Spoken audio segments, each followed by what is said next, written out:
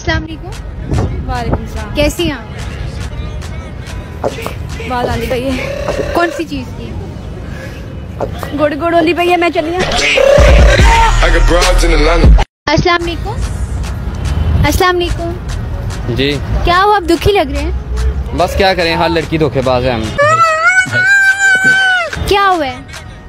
यार मैंने अपनी गर्लफ्रेंड को कॉल किया है तो पूछा कहाँ पे हो? कहती मैं शुभाना के साथ हूँ। तो फिर इसमें क्या हुआ? तो शुभाना तो मेरे साथ ही तो वो किसके साथ थी गया।